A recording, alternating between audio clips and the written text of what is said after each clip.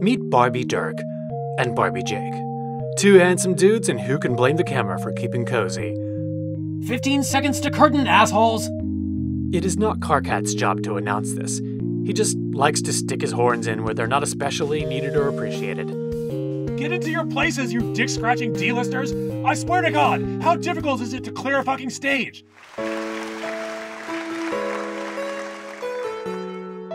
After establishing the croquet shot at length, the camera alternates between focusing on Dirk and Jake. I feel that your soul and mine are irrevocably entwined. Bro, I am completely and irretrievably balled up by almost everything you say. Cut! I object to that! Dirk, you are doing it again. I don't know what you're talking about. I- I'm by no means an expert, but this seems like a divergence from theatre protocol. I don't remember the guest stars being this involved in the Muppet Show. The Smuppet Show. Sure.